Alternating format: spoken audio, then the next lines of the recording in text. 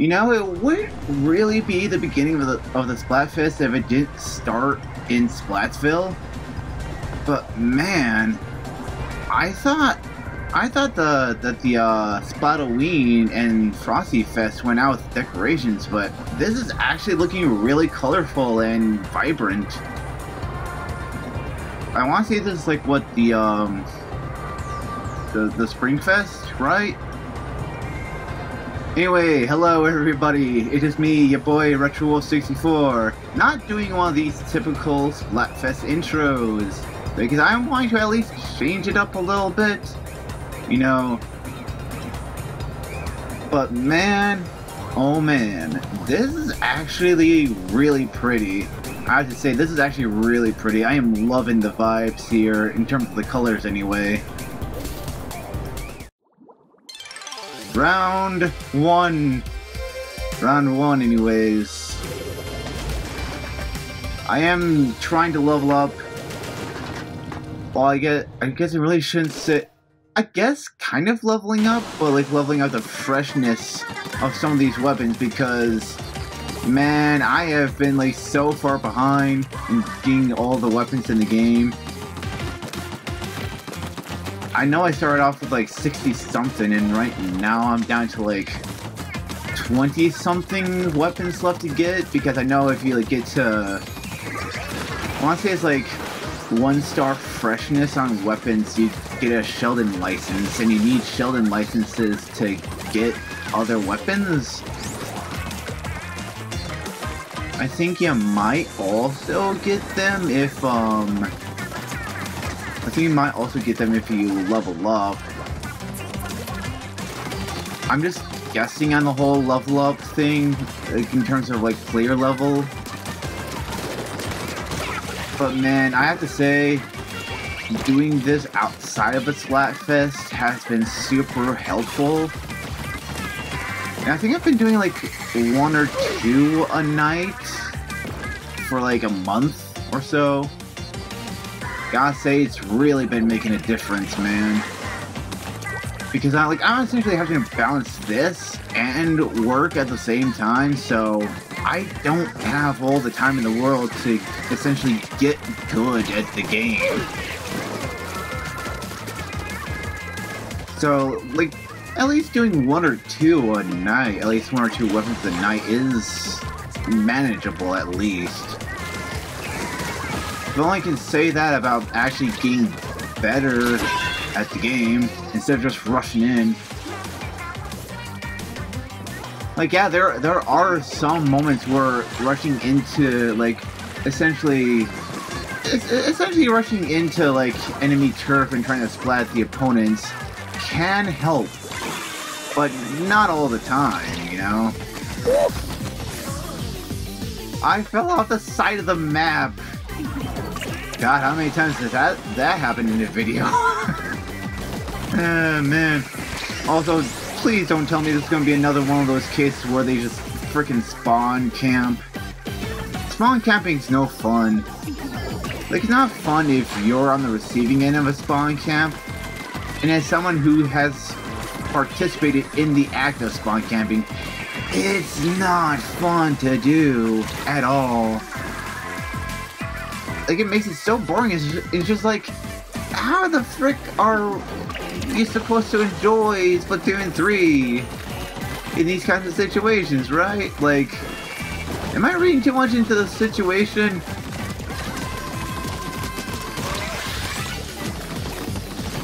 Uh, anyway, I think we've lost this. We've been in danger for most of that round.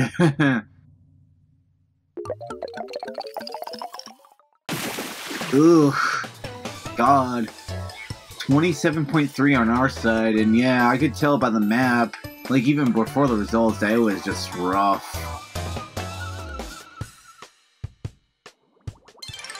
Barnacle and Dime. It's a, definitely a map I haven't played all too much on. I think there was a, um, I want to say there was a tricolor map, at least a tricolor battle here during one of those Splatfests, if I remember correctly. I'll forget which one exactly, because there, there's been so many of them, and just, man. I, ah, I forget which map is going to be for the, like, the Tricolor map here for this Splatfest. I want to say Mahi Mahi, but I, I don't know. I'll have to see what it actually is when when it's halftime. I think it's halftime when tricolors start becoming a thing. I do have to say, the option to make tricolor battles like a separate mode instead of it just randomly happening was such a nice change, honestly. Because like there's the option for um for open and pro turf war. That, that was definitely interesting to do, but also I could understand wanting to have like two separate versions of it. keep in mind, this is just my own personal take, because I remember it being, like, the whole tricolor mode being random and just almost never having it happen, so I couldn't, like, almost never got to enjoy it until they made it, like, a separate thing.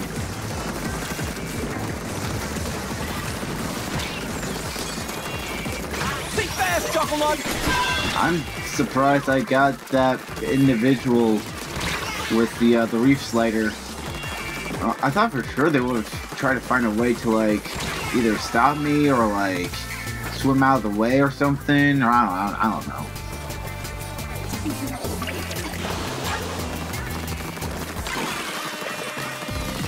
I have to say, these dualies are a lot nicer to use than whatever ones I was using before in the last round. I'm definitely not using these Fizzbangs enough frick. Uh, yeah, yeah, we've probably lost this, haven't we? I have definitely been getting decimated quite a good amount in these first few rounds, and it's not been making it fun. Like, yeah, I get it. I'm not gonna be able to win every single freaking round, but like, getting decimated round after round after round, especially with like starting off the Splatfest is not a good note to start off a Splatfest, especially if you're tired and hungry and you've had a rough day. It just makes the whole thing worse, you know? I'm, I'm sure I'm not the only one who's been in a situation like that before, right?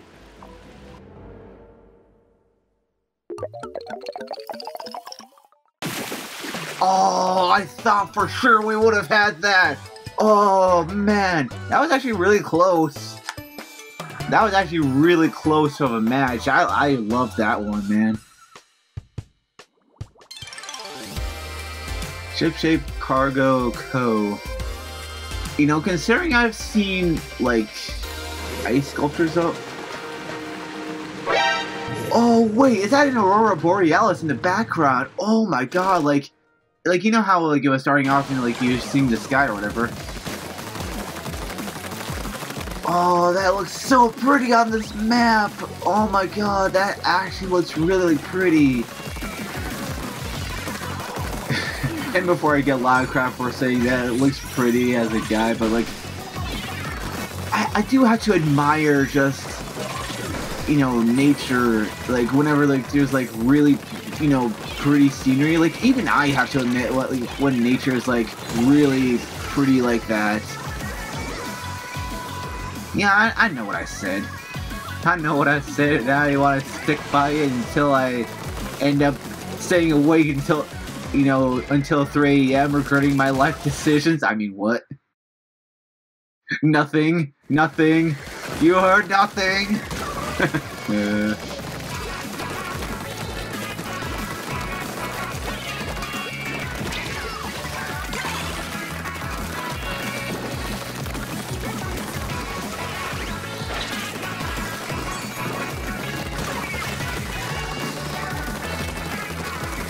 Do, uh, yeah, let's rip it now. Fast! How did I get somebody like that? what? How? How in the what? Where? How? Also, where was that other player I just recently splatted anyway? Like after the Reef Slider incident, just, what is going on? Also, I haven't been seeing a lot of, uh, like, I know it's, you know, like Team Chick versus Team Bunny versus Team Bear.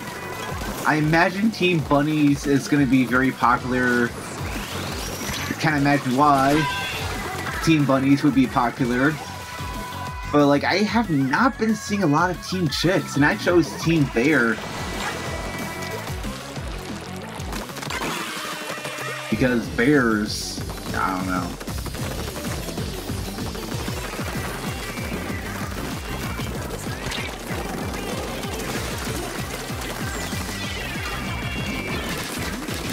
Come. Oh, I at least took him out with me. I pulled an Andross. If I'm going down, I'm taking you with me. Oh, can I just super jump? Oh, come on, come on, come on, come on. Got somebody. At least got somebody. Someone has been splatted. Alright. So, yeah, let's do it now. Uh, frick, I think they got out of the way just in time, but I got someone named Beanies. Okay.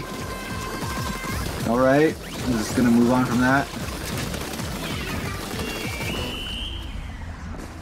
Hmm. I have a good feeling about this match, actually.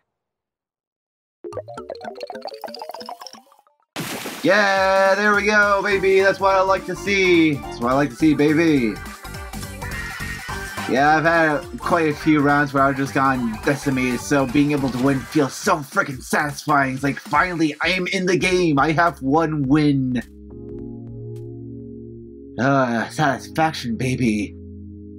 Trust me, it feels a lot more satisfying after getting just curb stomped every single round, or like a lot of rounds anyways.